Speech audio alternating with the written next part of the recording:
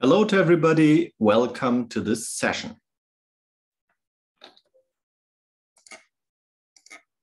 I would like to present you the environmental footprint of data centers and cloud services.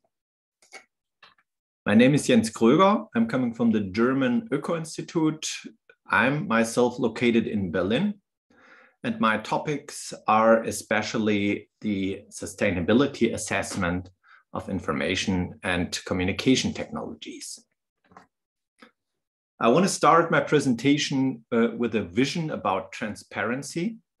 About transparency, what happens in the cloud, what happens in the data center. And you can see here uh, four different uh, pictures of typical cloud services, a video streaming, an online game, and software as a service, and a, um, a messenger app. And my vision is that it would be fine if in future times it would be possible to exactly tell how efficient these services are running in the data centers, how much energy they are consuming, and how much carbon emissions is linked to the usage of these services. Why I'm interested in these points? Uh, because we can see that uh, data centers are consuming quite a lot of energy and especially the energy demand of data centers is continuously increasing. So the problem is actually growing. Uh, what we can see in this graph here, that also more and more uh, calculation power moves from local data centers, from traditional uh, data centers into the cloud. Some of these calculations also move into edge data centers, which are small data centers and next uh, to the consumers or the companies. But anyway, it's getting more and more intransparent how much energy is being consumed in these data centers and especially how much uh, energy is consumed for the services that I'm using in these data centers. And so far, there is no way to explicitly uh, select or procure green cloud services because I can't really compare different services in terms of energy efficiency and climate neutrality. Um, there is a goal on the European level, and uh, it is the uh, European, European digital strategy, which says that data centers and telecommunications will need to become more energy efficient reuse waste energy and use more renewable energy sources. They can and should become climate neutral by 2030. It's not such a long time until 2030, and um, so there have to be made quite a lot of efforts to reach that. And the other point is actually uh, to support the circular economy. Uh, beyond the energy efficiency requirements of eco-design, ICT equipment must become fully circular designed to last longer, to be properly maintained, to contain recycled material, and to be easily dismantled and recycled. So the ICT should, um, uh, should be made fit for the circular economy as well. One of the actions that is proposed uh, by this European digital strategy is that public procurement uh, should be made more sustainable and uh, this is made uh, by um, rules on green public procurement uh, that covers all ICT products and services. This is what I just said before. It should be possible to select exactly energy efficient and uh, environmental friendly service, services, which is unfortunately not yet uh, possible. Uh, we made a research project, and I will uh, present you in total two research projects uh, that we did for the German Federal Environment Agency. Uh, and the first uh, project is called KPI for DCE, which means Key Performance Indicators for Data Center Efficiency. Um, and uh, it was qu quite some years ago, but still uh, these, these assessments and these these developments of methodologies um, are uh, uh, quite uh, important uh, for these goals to compare and to choose energy efficient data centers.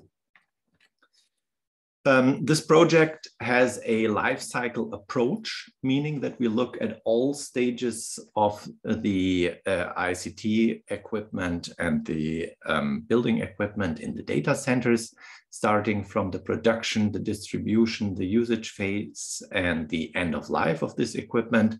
And we see this is the, the approach of the life cycle assessment, uh, that into all these stages uh, go natural resources and they are uh, processed and uh, uh, finally uh, finally um, yeah, sent back into the environment as emissions to water, air, and soil. And the life cycle approach um, assesses all these input and output data. And what we looked in KPI for DCE especially we looked on the abiotic resource depletion potential, which means the, the raw materials that go into these processes. We looked at the accumulated energy demand, so the primary energy consumption, the global warming potential, and also the water consumption. Um, how to calculate key performance indicators. So in general, a um, a key performance indicator for efficiency should be something like a useful work divided by the environmental impacts. We can see it down here. The data center efficiency could be calculated as useful work uh, per environmental impact. We all know that, for example, from cars, the useful work would be the, the kilometers I'm driving and the environmental impact the input, for example, the fuel input or the uh, carbon emissions uh, that result uh, uh, from driving these kilometers. So for data centers, we defined four different kind of useful works. And we divided the IT equipment into server, storage, and network. And so we defined as IT useful work uh, the computing power each year, which can be um, uh, can be named by operations in spec integer uh, operations uh, per year. So how much calculations can be done per year. Uh, for the storage capacity, we took the storage volume used per year, gigabyte per year. For the network, the external data transfer um, per year, the data transfer that comes either into the data center or it goes out of the data center. And the fourth one is a, um, a useful work of the infrastructure. The infrastructure actually supports the IT equipment with electricity and with uh, uh, cool rooms. So the supply of the infrastructure with these energies. And our unit for the efficiency of the infrastructure is a percentage value, which means 100%, uh, uh, nothing is lost in the infrastructure, but usually it's less than 100% because uh, all these infrastructure components um, yeah, also take energy. Um, I have here some examples uh, of KPIs that we calculated inside this project. Um, uh, we have seen there are um, four different impact categories from the life cycle assessment and four different uh, useful work categories, uh, server storage, uh, network and infrastructure. So we ended up with altogether four times four. This is 16 different KPIs that can be calculated uh, for this data center. And the first one, for example, uh, the KPI server ADP means uh, how many CPU operations are performed per unit of raw material. Uh, the second one in the middle is the uh, KPI for the storage uh, related to the global warming potential. So how much storage space is actively used per carbon dioxide unit. Here, for example, it has been uh, 9.5 gigabyte per kilogram of carbon emissions that uh, is being uh, consumed every year.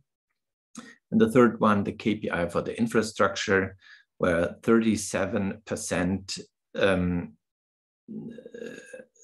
means that uh, 27, uh, sorry, 27% are, are being lost in the infrastructure. And the question is how efficient is the infrastructure in terms of primary energy use? So how can we uh, use these uh, KPI for DCEs?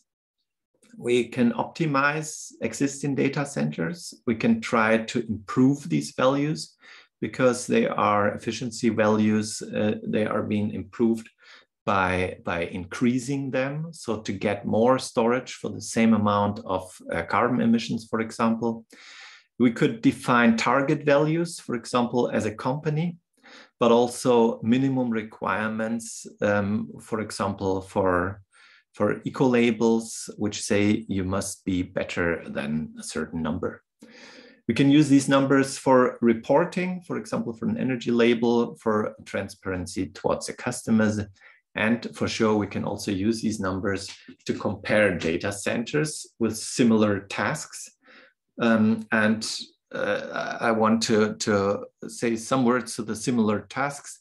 Everybody knows that a data center uh, or, or the efficiency of a data center quite depends on a lot of factors like where it is located, in which climate zone, or how is the redundancy concept of the data center. So it really depends on um, certain parameters and you can't really compare every data center with the other uh, in terms of efficiency.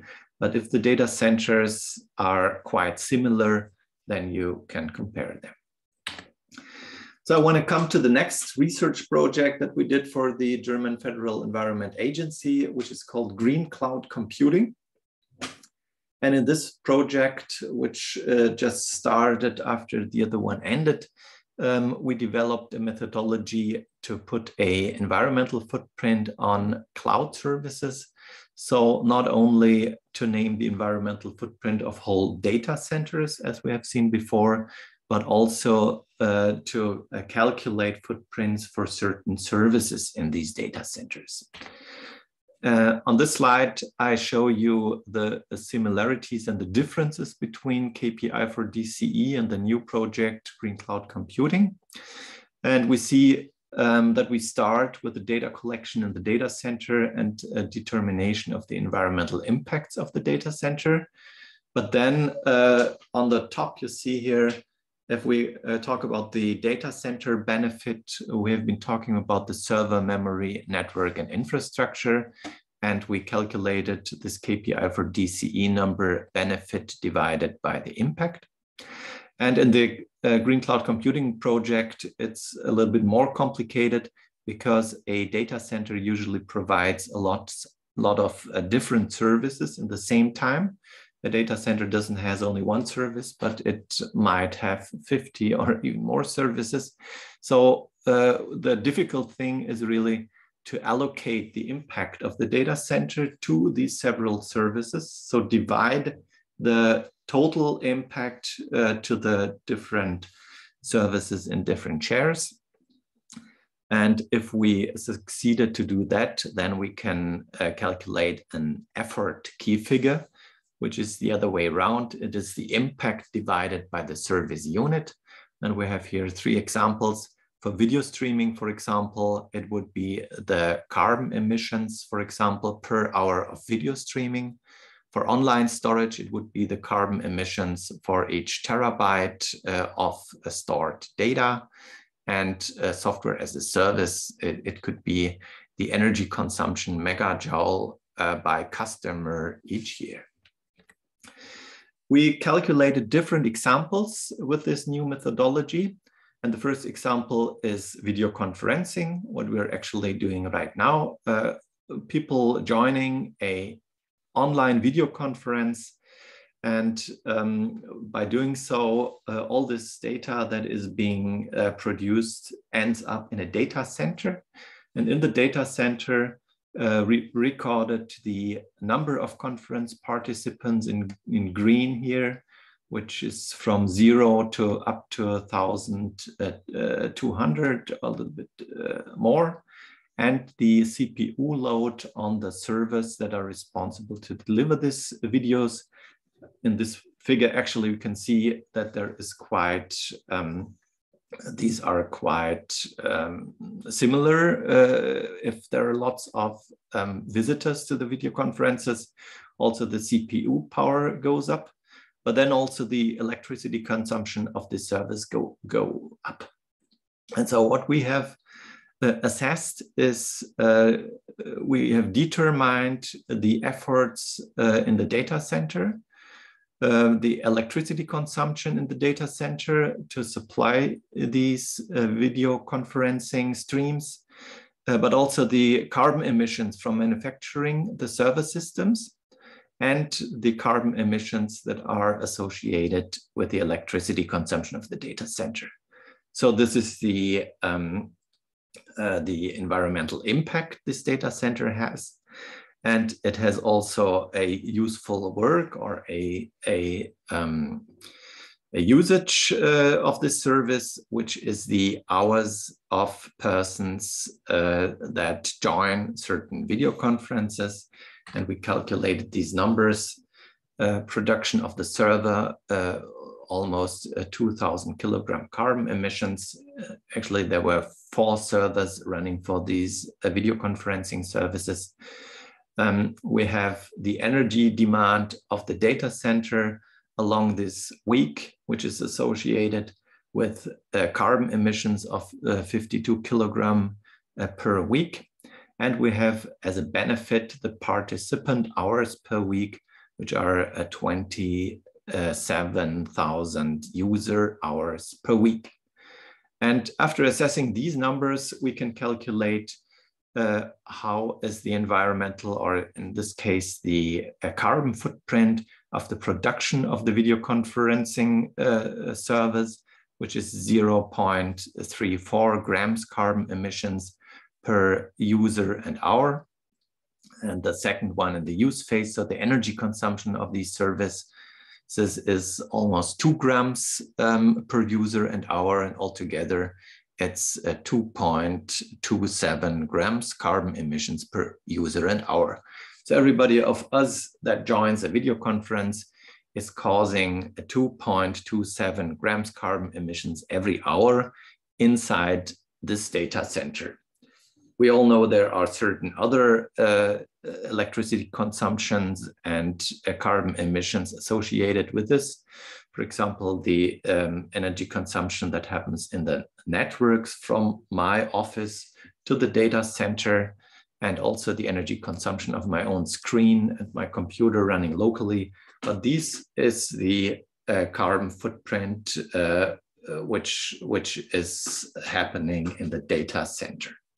And so this is also the value that a, operator of a data center of, or of this service um, could provide you with.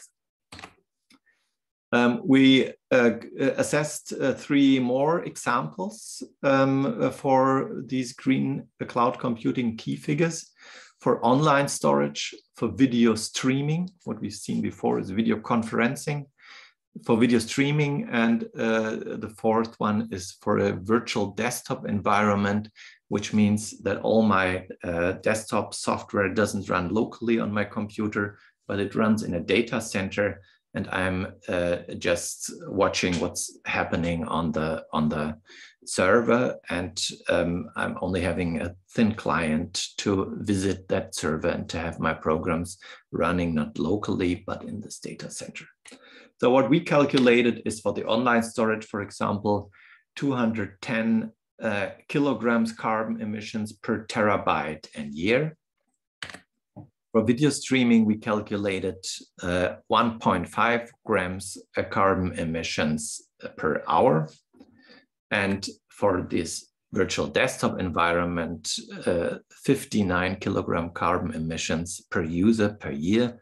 So if I put all my software into the cloud, into the data center, um, maybe I uh, need less carbon emissions locally, but I still need this number in this um, central data center. Uh, these numbers were just examples from, from the data centers that supported us with data, and they are probably not representative, but it would be um, uh, would be a good idea to have in future times more transparency about these services to compare or to decide if it's worth storing all my data in the data center, for example, with 210 kilograms per terabyte, or if it might be better to storing the data locally and maybe switch off the electricity if I don't want to look at these data. So next steps to get more transparency. This is my last slide. The first thing is that we actually need more research. We need improved methods for determining the environmental footprint of data centers, cloud services, and software applications. Uh, but then the, uh, it's a turn of the data center providers. Um, there should be an obligation for data centers to provide information about their energy consumption. Right now, we have very little information about the total energy consumption of data centers. So it's a very good idea that Eurostats currently started to collect these data from the data center uh, operators. And uh, the next thing should be the establishment of a mandatory register for data centers uh, in which efficiency indicators are reported. So every data center starting from a certain size should report its energy consumption and its efficiency indicators to this central register. So I could uh, choose a data center that is especially efficient, for example. Uh, providers of cloud services and telecommunication services um, uh, should also contribute to this tra transparency by mandatory reporting of service-related energy consumption of, uh, and carbon emissions, uh, uh, in my vision, I already showed how that might look like in energy efficiency label, for example. And the next step uh, might be the introduction of eco-design requirements and energy efficiency labels for digital services. So I started with a vision and I also ended here with the vision. Thank you for your attention.